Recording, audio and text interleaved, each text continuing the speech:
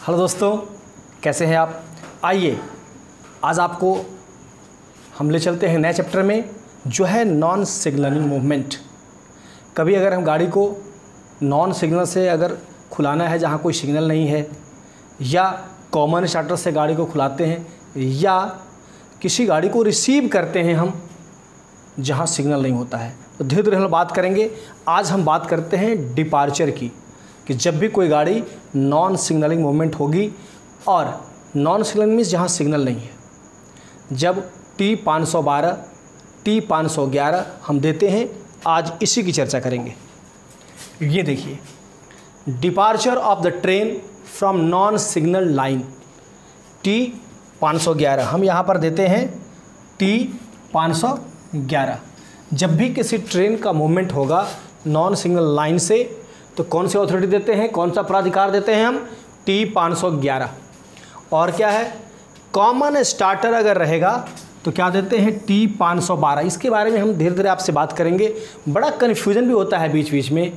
कई बार मैंने देखा है कि ड्राइवर जो गाड़ी लोको पायलट हैं, वो कभी कभी कुछ डिमांड करते हैं और स्टेशन मास्टर के साथ भी कुछ बातचीत चलती है कि ये अथॉरिटी चाहिए तो ये अथॉरिटी चाहिए। तो आज हम पूरी तरह से क्लियर करेंगे कि कौन सी अथॉरिटी कहाँ मिलेगी और कहाँ देना होगा मुझे।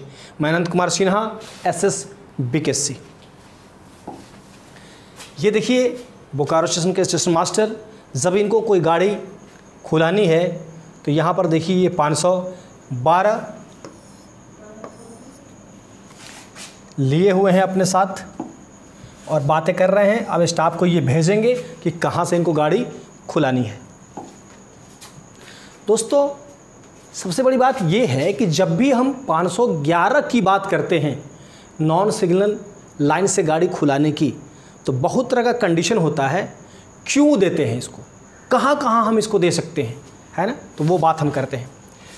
ये आपका है in the event of train having to start from a line not provided starter ऐसा लाइन जहाँ पर स्टार्टर नहीं दिया है गाड़ी के लिए नहीं दिया हुआ है। स्टार्टर सिग्नल है ही नहीं। इधर स्टार्टर नहीं और कोई सिग्नल नहीं है, कोई भी सिग्नल नहीं है। वहाँ पर हम देते हैं क्या? टी 511 याद रखना है, कहाँ कहाँ टी 511 का इस्तेमाल करते हैं तो ये एक पोजीशन है जहाँ टी 511 का इस्तेमाल करते हैं। जब स्टार्टर सिग्नल नहीं है या कोई सिग्नल नहीं है, अभी मैं आपको एक दिखा दूँ, देखिए, यहाँ से गाड़ी को स्टार्ट करना है, यहाँ आगे कोई सिग्नल नहीं है। और जब कोई सिग्नल नहीं है तो यहाँ पर हम क्या देंगे? टी 511 तभी ये गाड़ी खुलेगी। ये हमारे दोनों लोको पायलट हैं। अभी ये गाड़ी पर चढ़ेंगे और इनको दिया जाएगा टी 511 तब जाकर गाड़ी खुलेगी। इसके बाद सिग्नल आउट ऑफ़ यूज़ अगर कोई सिग्नल है, मान लेते हैं कि अगर कोई सिग्नल बना हुआ है सिग्नल है यहाँ पर, और ये आउट ऑफ़ यूज़ है मीन क्रॉस किया हुआ है, वो उसका अब काम नहीं हो रहा है। और वो सिग्नल है तो वहाँ पर भी हमको क्या देना होगा? टी 511 यानी कि सिग्नल आउट ऑफ़ यूज़ है।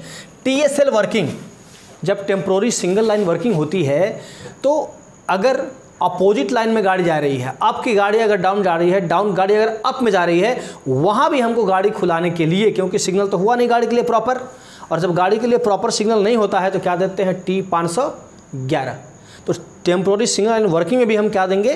टी 511 ऑथोरिटी देंगे गाड़ी को खोलने के लिए। ठीक है? इसके बाद signal suddenly put back to on यहाँ पर थोड़ा ध्यान से इसको समझना है। ये पॉइंट मैंने क्यों लिखा? कि जब signal suddenly put back to on कभी कभी क्या होता है कि गाड़ी अगर होम को अप्रोच कर रही है, इस आपका स्टार्टर को अप्रोच कर रही है एडवांस को अप्रोच कर रही है, और सडनली सिग्नल क्या हो गया? पुट बैक हो गया। ऑन पोजिशन में आ गया। अब तो ड्राइवर अचानक इमरजेंसी ब्रेक लेकर गाड़ी को रोकेगा। अब गाड़ी रुक गई और जैसे ही गाड़ी रुकी तो गाड़ी क्या हुआ? स्टार्टर को पार करके रुक गई। जब गाड़ी स्टार्टर को पार करके रुकी तो अब ड्राइवर के लिए हो गया नॉन सिग्नल लाइन। जब दोबारा हम गाड़ी को खुलाएँगे, ये कोई स्पेड का केस नहीं है। सिग्नल पास्ट एट डेंजर का केस नहीं है। ड्राइवर ने जानबूझकर गाड़ी को पार नहीं किया। अचानक किसी कारण सिग्नल उठ गया था। तब वैसे केस में फिर हमको टी 511 देना होगा गाड़ी को फिर आगे जाने के लिए। ये ध्यान रखेंगे। इसके बाद एक केस आता है, स्टैंड आफ्टर स्टार्टर। या पासिंग स्टार्टर, जो बात मैंने बोल दिया, आफ्टर स्टार्टर। ये केस जो है, पासिंग स्टार्टर नहीं बोलकर हम बोलेंगे, stand stand after starter starter के बाद अगर कोई गाड़ी खड़ी है तो हम देखते हैं ऐसा कौन कौन सा केस हो सकता है जब कोई गाड़ी स्टार्टर के पार होकर खड़ी है। जैसे मान लीजिए बोकारो की हम बात करते हैं तो कुछ लाइनें थोड़ी छोटी हैं। क्लियर स्टैंडिंग जो लेंथ है, वो उसका छोटा है। पहले क्या होता था कि गाड़ियाँ छोटी छोटी हो करती छः सौ छिहत्तर है कि सात सौ तीस है। गाड़ी का जो लेंथ है ट्रैक का, जो लेंथ है, जो कैपेसिटी है, वो थोड़ी छोटी है और गाड़ी आगे बड़ी। जैसे आजकल पुश पुल चलता है, टाइगर चलता है, लॉन्ग हॉल चलता है तो ये क्या होगा? स्टार्टर को पार करके गाड़ी खड़ी हो जाती है। वैसे केस में जब गाड़ी के लिए सिग्नल नहीं होगा, जब लंबी गाड़ी है, अट नहीं पा रही है, उस ट्रैक, उस क्लियर स्टैंडिंग लेंस को क्लियर करने के बाद भी गाड़ी स्टार्टर को पार कर गई है, वैसे केस में क्या देंगे हम? 511 ठीक है? कभी कभी क्या होता है, कोई गाड़ी स्टेशन में पहले से खड़ी है और उसको हमको ईओटी करना है हमने मल्टी से यूटी कर दिया, हमने कॉन्सिस्ट से यूटी कर दिया, फिर क्या हो गया, वो स्टार्टर को पार कर गया। ठीक है, उस लाइन में स्टार्टर है, लेकिन जब हमने कॉन्सिस्ट को ईओटी किया या मल्टी को यूटी किया किसी गाड़ी में तो क्या हो गया स्टार्टर को पार हो गया। वहाँ भी हमें देना होगा टी पाँच सौ ग्यारह। ठीक है? ये परिस्थितियाँ हैं जहाँ पर हम टी पाँच सौ ग्यारह देते हैं। क्यों देते हैं, ये मैंने बात किया। अब कैसे इसको देते हैं, देते समय क्या क्या सावधानी बरतते हैं, देने के पहले क्या करते हैं, देने के बाद क्या करते हैं, गाड़ी खुलते समय क्या करते हैं, ये सारी परिस्थितियाँ अभी हम देखेंगे। और मुझे पूरा विश्वास है कि आज के बाद आपको इस टी 511 में कोई डाउट नहीं रह जाएगा। केस तो आपने समझ ही लिया, फिर हम टी 512 की ही बात करेंगे। दोस्तों, यहाँ देखते हैं। Loco pilot to be given written permission जब भी कोई गाड़ी नॉन चलान से खुल रही है तो रिटर्न परमिशन में तब बात कर रहा हूँ टी 511 हम लोको पायलट को देते हैं। In addition authority to proceed under system of working ठीक है, नॉन सिग्नल से गाड़ी खुली है, लेकिन जब अगले ब्लॉक सेक्शन में जाएगी तो हर एक गाड़ी को बिना ऑथोरिटी टू प्रोसीड का नहीं खुलाना है। उस गाड़ी को चाहिए ड्राइवर जाएगा या नहीं, गाड़ी को चाहिए ऑथोरिटी टू प्रोसीड ये क्या हो सकता है? ये लास्ट स्टॉप सिग्नल हो सकता है, उसको हम टेक ऑफ़ करेंगे, फिर गाड़ी जाएगी, वो three six nine three B पर। प्राइवेट नंबर लिख कर भी हम दे सकते हैं। पेपर लाइन क्लियर टिकट या एक बात और ध्यान देना है, यहाँ पर टी 511 देते समय इस बात का भी एक ध्यान रखना है कि यदि हम कोई टेंजिबल अथॉरिटी दे रहे हैं मतलब टोकन दे रहे हैं, अगर हम गाड़ी को कोई टेंजिबल अथॉरिटी दे रहे हैं सिग्नल कोई नहीं है, लेकिन गाड़ी को अगर टेंजिबल अथॉरिटी दे रहे हैं तो वहाँ पर भी टी 511 आपको नहीं देना है, वो तो टेंजिबल अथॉरिटी हो ही गया गाड़ी स्टार्ट करने के लिए। हाँ अगर सेम सेक्शन में सेम लाइन में अगर दूसरी गाड़ी खुल रही है तो दूसरी गाड़ी को हम टी 511 दे सकते हैं। ये क्लियर हो गया दोस्तों आपको? जब भी कोई गाड़ी नॉन सिग्नल लाइन से खुल रही है, लेकिन यदि हम वहाँ पर कोई टेंजिबल अथॉरिटी दे रहे हैं, कोई टोकन दे रहे हैं, है ना? तो वहाँ पर आपको टी 511 नहीं देना है। हाँ उसी रूट में अगर सेकंड गाड़ी खुल रही है, तब हम टी 511 देंगे। ठीक है? चलिए, आगे आते हैं। वे लास्ट स्टॉप सिग्नल के बारे में बात कर रहे थे कि ऑथोरिटी प्रोसीड क्या हो गया आपका? ये हो गया। फिर वे last of signal could not be taken off अगर लास्ट ऑफ़ सिग्नल को अगर हम टेकन ऑफ़ नहीं कर रहे हैं और हमारा लाइन क्लियर अगले ब्लॉक के स्टेशन से मिल चुका है तो इस बात को टी 511 भी आपको दिखाऊँगा। टी 511 में इसको हम मेंशन करते हैं यहाँ पर। ये बहुत क्लियर आपको दिख नहीं दिख रहा होगा। यहाँ पर हम लाइन नंबर भी लिखते हैं। कि किस लाइन से गाड़ी खुलने वाली है, किस ब्लॉक स्टेशन से हमने गाड़ी, जैसे मान लेते हैं कि अगर हम गाड़ी इनवर्ट से अगर खोल रहे हैं, जैसे यहाँ पर हम डेट देते हैं, टाइम देते हैं, ये टी पाँच सौ ग्यारह है, और मान लीजिए कि यहाँ पर हम ई केबिन से गाड़ी को खुलाना है, ठीक है, और सी केबिन से लाइन क्लियर ले रहे हैं तो यहाँ क्या लिख देंगे? C cabin.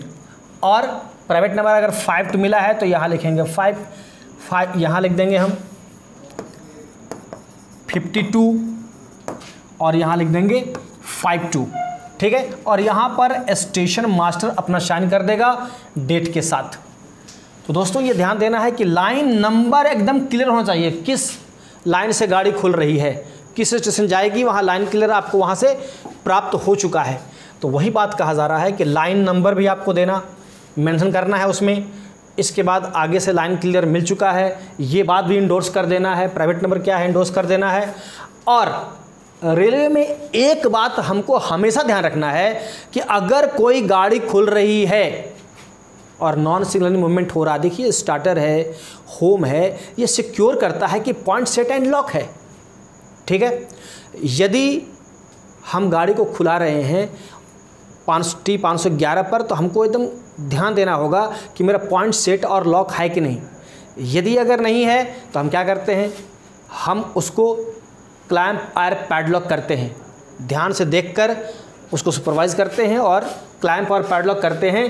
तभी हम गाड़ी को खुलाते हैं। Departure trains to be lock properly दोस्तों कभी कभी मैंने देखा है कि टी 511 को लेकर जब ड्राइवर से कुछ बातचीत होती है, जैसे मान लेते हैं कि इनवर्ड है। इनवर्ड मीन्स ई केबिन और ई केबिन में संट सिग्नल दिया हुआ है। वो संट सिग्नल है संटिंग पर्पज़ के लिए। मैंने पहले कहा था कि क्यों देते हैं, थोड़ा देखा जाए। अगर सिग्नल नहीं है, कोई सिग्नल नहीं है, या सिग्नल अगर है और वो दूसरे पर्पज़ के लिए है, इस पर्पज़ के लिए नहीं है। सिग्नल दिया हुआ है वो दूसरे किसी पर्पज़ के लिए। जैसे संट सिग्नल है तो शंटिंग पर्पज़ के लिए है। वहाँ से भी अगर आपको गाड़ी खुलवानी है शंटिंग करना तो अलग बात है संट सिग्नल को झुका दिया और हो गया। लेकिन यदि गाड़ी खुलवानी है तो वहाँ पर क्या करना है आपको टी पाँच सौ ग्यारह ज़रूर देना है। ठीक है? आइए अब आगे बढ़ते हैं हम लोग। अब आते हैं departure of train from common starter common starter अगर दिया हुआ है तो वहाँ पर हम क्या देते हैं? टी पाँच सौ बारह देखिए दोस्तों, अगर हम एक सिचुएशन आपको दिखा रहे हैं मान लीजिए कि यहाँ से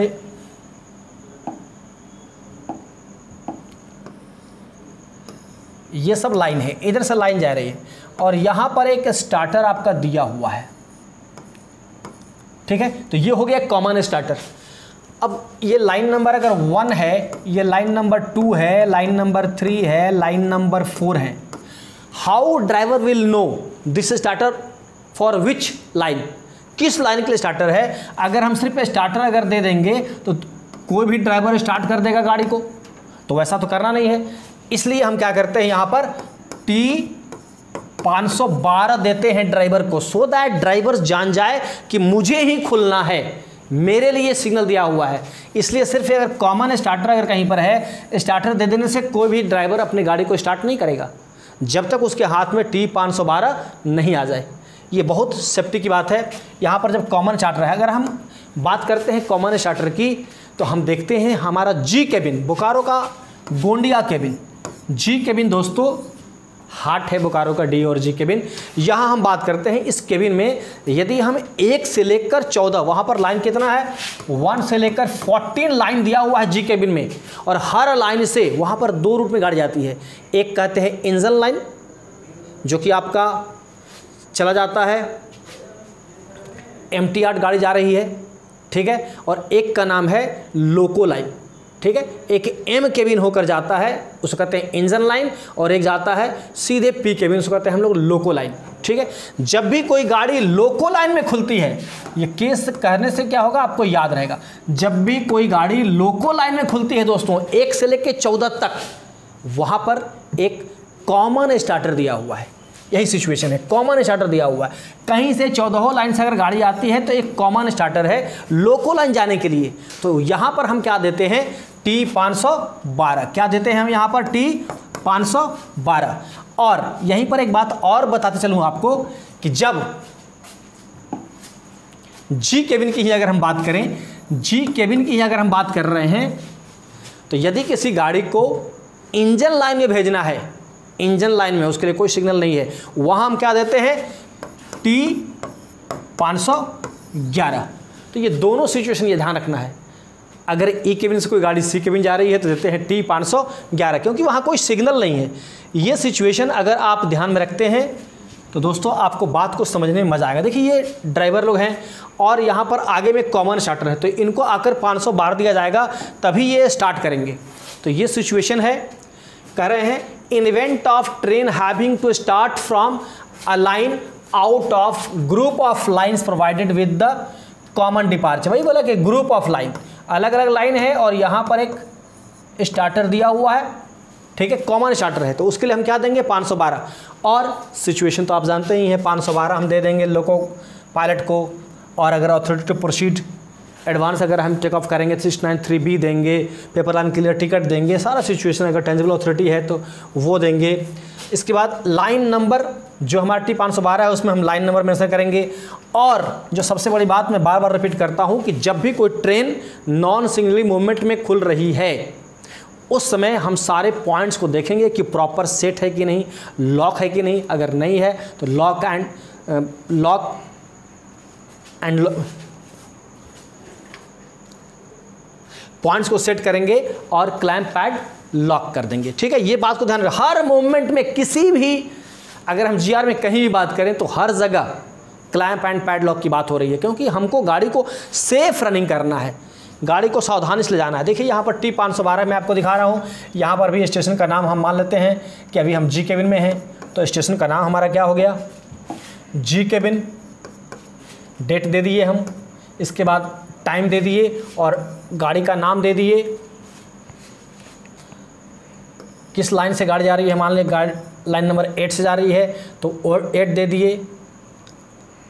और यहाँ भी लिख देंगे एट उसके बाद अगले स्टेशन से अगर हम लाइन के लिए हुए हैं, मान लीजिए कि एम केबिन से लिए हुए हैं तो उसका भी प्राइवेट नंबर एम केबिन लिखेंगे, फिर प्राइवेट नंबर लिखेंगे। ये सारी बातें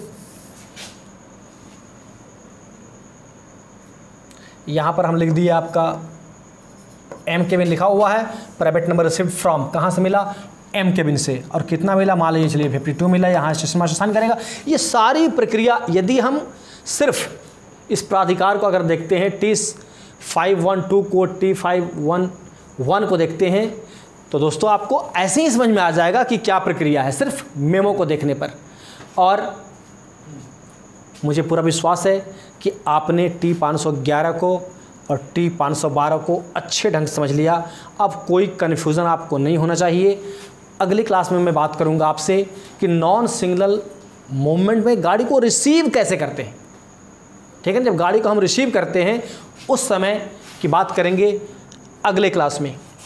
थैंक यू दोस्तों थैंक यू इस वीडियो को दो चार बार देखिए और आपका पूरा कंसेप्ट क्लियर हो जाएगा कि टी 511 टी 512 क्या है। Thank you thank you very much